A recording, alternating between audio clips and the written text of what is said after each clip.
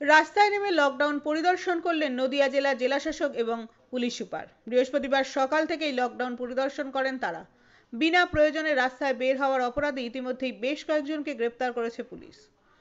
উল্লেখ্য লকডাউন চার মাস অতিক্রান্ত হলেও যত দিন গড়াচ্ছে ততই করোনার সংক্রমণ বেড়েই চলেছে। এই পরিস্থিতিতে আরও কঠোর মনোভাব গ্রহণ করেছে রাজ্য সরকার এবং স্বাস্থ্য দপ্তর।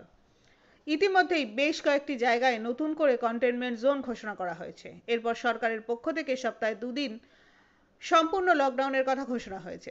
বৃহস্পতিবার ছিল প্রথম লকডাউন তাই সাধারণ মানুষ সঠিক নিয়ম মেনে লকডাউন পালন করছে কিনা তা তদারকি করতে রাস্তায় নেমে পরিদর্শন করলেন নদিয়া জেলার জেলাশাসক বিভু গোয়াল এবং কৃষ্ণনগর জেলা পুলিশ সুপার আজমাল কিদওয়াই। জেলাশাসক বিভু গোয়েল বলেন, আমরা সকাল থেকেই নজর রাখছি কেউ দোকান খুলছে কিনা। সেই সঙ্গে অপ্রয়োজনে কেউ রাস্তায় বেরোলে তাদের জিজ্ঞাসাবাদ করা হচ্ছে। প্রয়োজনে তাদেরকে আইন অনুযায়ী ব্যবস্থা নেওয়া হচ্ছে। কৃষ্ণনগর জেলা পুলিশ সুপার জাফর আজমাল কিদওয়াই বলেন, যারা রাস্তায় হেলমেট এবং মাস্ক ছাড়া বের হচ্ছেন, তাদের বিরুদ্ধে আইনগত ব্যবস্থা নেওয়া হচ্ছে। পাশাপাশি জিজ্ঞাসাবাদ করা হচ্ছে, তারা কী কারণে রাস্তায় বেরিয়েছেন। অপ্রয়োজনে বের হলে গ্রেপ্তার করা হচ্ছে। প্রশাসন পক্ষ থেকে এটা পুরো চেষ্টা থাকবে যাতে লোক আননেসেসারিলি বাড়ি থেকে না বেরোয়। স্যার, সকাল থেকেই আমরা এই মোড়েই দেখতে পেয়েছি বেশ কিছু লোক।